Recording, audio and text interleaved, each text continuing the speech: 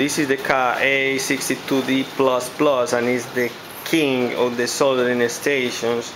If you are looking for super BGA or mini BGA or turbo chips or special boards you are going to have four modules here that include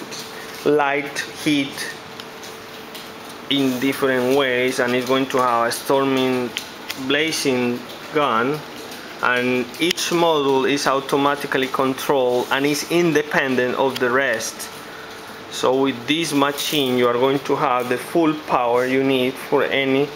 chip related work. You are going to have also your ceramic plate that also in the bottom is going to work